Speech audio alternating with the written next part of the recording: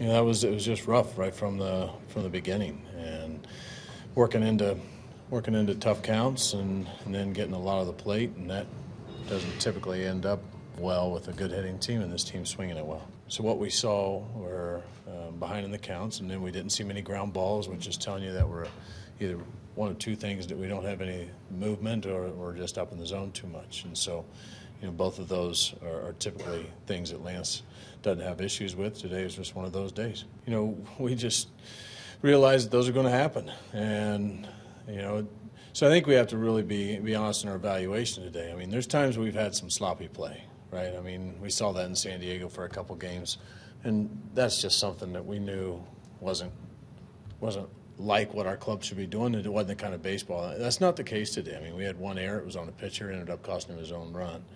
Um, it was just a matter of, you know, I think we've been so accustomed to seeing that starting pitching so locked down uh, that when we don't see it, it just looks uh, extremely odd. And, you know, today was just one of those days, and they're going to happen to our guys. And, you know, the bullpen came in, did a nice job of holding everything down after that.